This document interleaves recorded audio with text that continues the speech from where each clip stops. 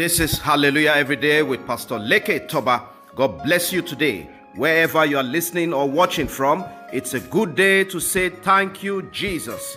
We take our reading of the Holy Bible from the book of Matthew, chapter 6, verses 24, 25, 26, 27, and verses 34. Bible says, Therefore I tell you, do not worry about your life, what you will eat or drink, or about your body, what you will wear.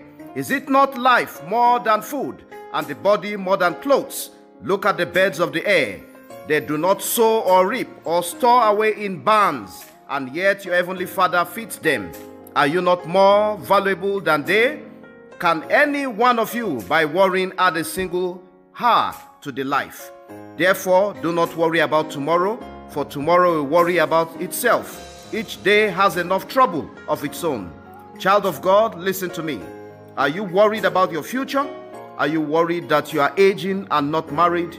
Are you worried that you have no kids of your own and age isn't smiling at you? Are you worried your kids are exhibiting strange habits defying control, counsel, and prayer? Are you worried there isn't a job to take care of your needs? Are you worried there isn't enough to show for all the years you've been laboring? Are you worried for tomorrow? Are you worried that there isn't strength to walk like before? Are you worried about your health condition?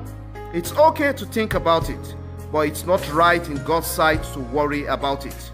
When you worry, you are implying to God He isn't interested in your case. Worry doesn't solve problems. Worry makes people old. Worry keeps the heart in pain. Worry kills faith. Worry breeds fear. Your life and all that concerns you is in the hand of God. Cast all your burden on Jesus for He cares for you. Trust in Him for peace of mind.